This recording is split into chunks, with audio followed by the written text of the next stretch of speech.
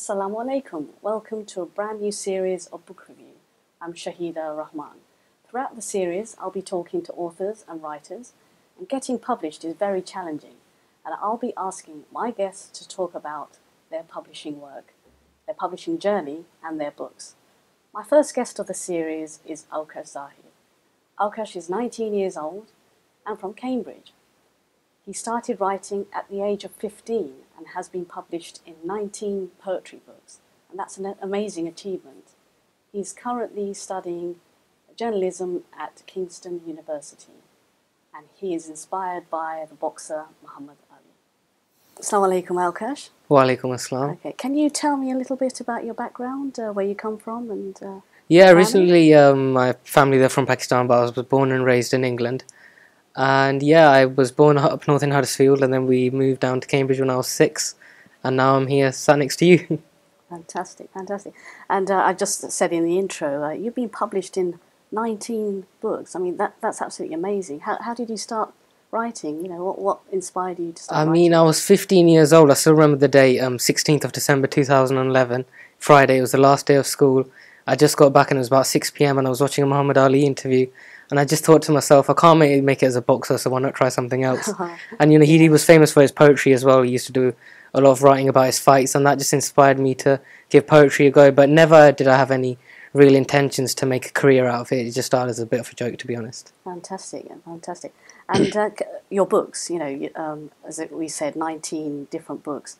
Um, what's your favourite poem? Uh, your favourite one that you've actually written?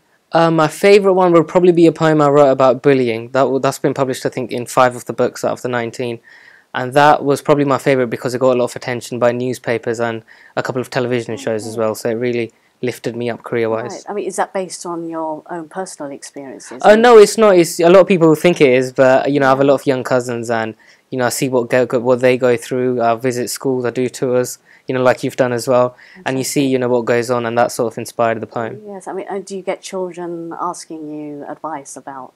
Yeah, yeah. I mean, in one particular case in 2013, January 2013, a child actually spoke about how his bullying was giving him suicidal thoughts. I got a private message on my Facebook page.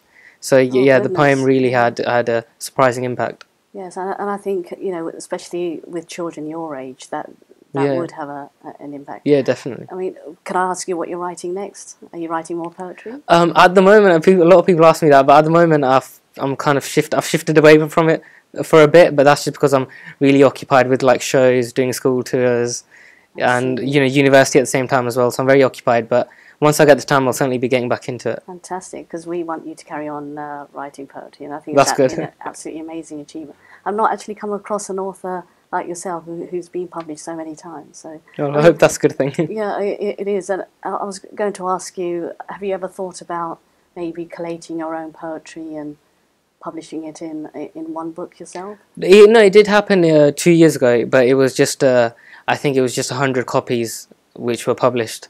So it was just a small sort of stack which uh, the publisher United Press kindly made for me. But yeah, I'll definitely look into it. You know, especially in this competitive climate, it's hard to get your work out there. But hopefully, you know, in the coming years, definitely, Fantastic, inshallah. fantastic.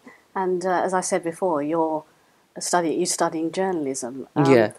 Was that part of because you wanted to uh, carry on writing? You know, journalism is a completely different. Uh, Yeah, is is a Uh, different form, yeah. but I guess it all links in with the sort of media world which I'm now in because of the platform poetry has created for me. So it's just uh, generally just a backup plan in case things don't work out and you know the poetry books fail. At least I have something to fall back on. Great, great, fantastic. Well, you've got one of your books here today. Can you tell us a little bit uh, more about it? Yeah, um, this is Men of Words, and it's actually a compilation of the top ten male authors in 2013, judged by publisher United Press. And thankfully, they kindly put me in put me in it. They gave they dedicated a chapter to me, and I think I was 16 when I got published in this. So yeah, it started from there. Have you ever come across uh, uh, an author like yourself, where you can compare notes and talk about your own? I haven't, and I think that's probably the reason why.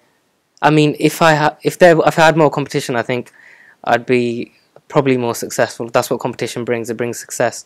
But I don't bump into other people like me. I think if I did, I'd be inspired to compete with them and then try even harder in what I do. So it's a shame that I haven't, but I wish I did. Fantastic. No, it's great. And I'd really like you to read one of your poems. So could you? Yeah, please? sure. This what the poem I'd like to recite is a poem I actually wrote while I was revising for my GCSEs. So I was 15, I think it was May 2012, and this poem is called Effort. And shall I go ahead? Yes, please do. The hips of effort are agile, the muscles of effort are strong, the eyes of effort are open, and is effort which works all day long. The mind of effort is clear, the aim of effort is to succeed, the stamina of effort is endless, and is effort which in the end shall feed. The heart of effort is touching, the lips of effort are sweet, the colour of effort is rainbow, and is effort which leads to a treat. The power of effort is eternal, the intention of effort is to progress, for effort never looks back, and is effort which brings you to success. That's amazing, fantastic. Thank you very much. Thanks a lot. Can you, can you give us a writing tip, um, something for the viewers? Writing tip always writes about something which people can relate to because then it, you know, it's good for sales. Uh, what are your hobbies, Aukash? What do you like doing? Um, Apart from writing, that is. I'd say I just love munching on Ferrero Rochers. I'm addicted to the- them. yeah, I take the walk to one stop every night and yeah, get some Ferrero Rochers.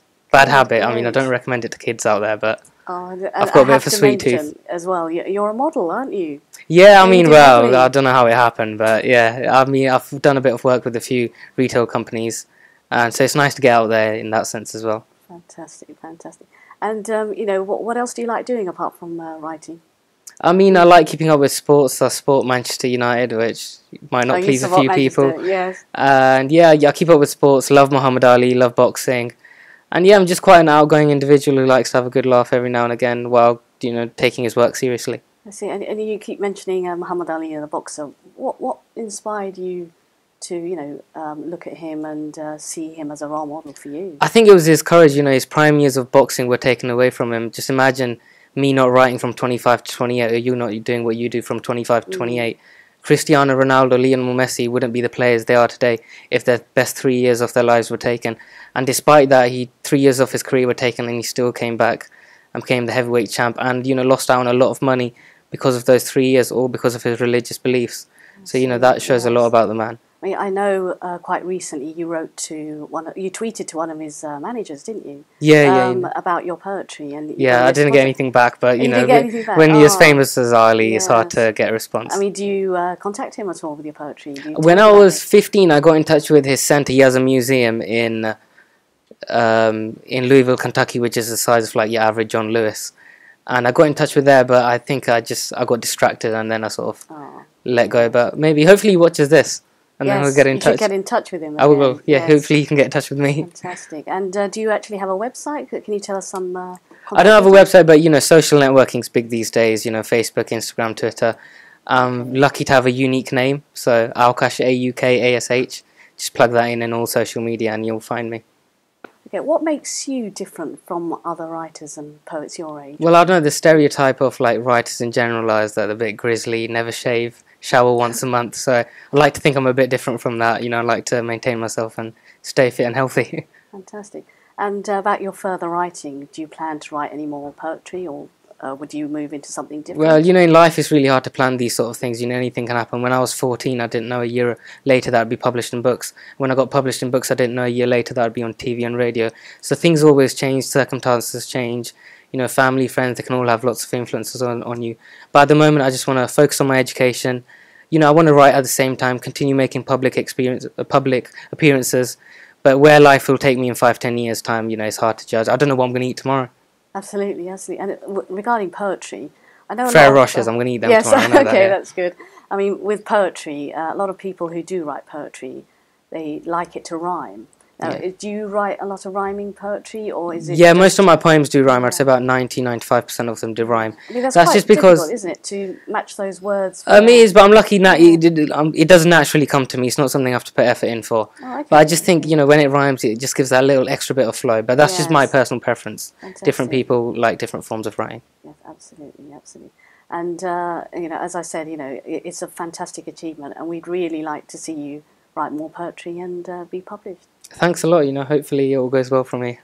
Thank you very much, Aukash, for being here today, and it's uh, wonderful to hear your writing and uh, what you plan to do next. So thanks very much.